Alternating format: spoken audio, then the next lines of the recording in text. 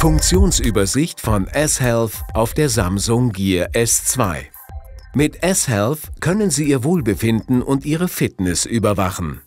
Achten Sie darauf, dass die Gear S2 für möglichst genaue Messergebnisse fest, jedoch nicht zu eng, sowie oberhalb Ihres Knöchels sitzt. Drücken Sie die Menütaste zum Start des Anwendungsbildschirms. Und gehen Sie zu S-Health. Auf dem ersten Bildschirm sehen Sie als Übersicht den 24-Stunden-Aktivitätstracker und nach Antippen des Displays weitere Details. Durch Drehen der Lünette gegen den Uhrzeigersinn gelangen Sie zu den Details der zurückliegenden Aktivitätsintervalle. Auf dem zweiten Bildschirm sehen Sie die aktuelle Anzahl der Schritte sowie Ihr aktuelles tägliches Schrittzahlziel.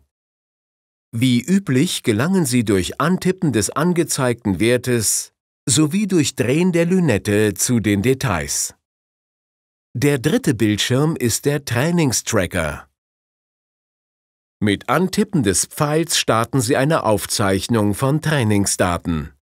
Wählen Sie anschließend die Form des Trainings aus, zum Beispiel Laufen. Drehen Sie die Lünette für die De- oder Aktivierung der Standortdaten gegen den Uhrzeigersinn.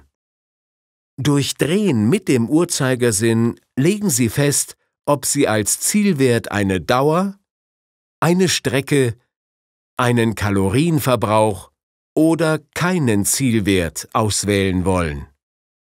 Auf dem vierten Bildschirm von S-Health finden Sie den Pulsmesser. Tippen Sie dort für eine sofortige Pulsmessung auf das Pulssymbol.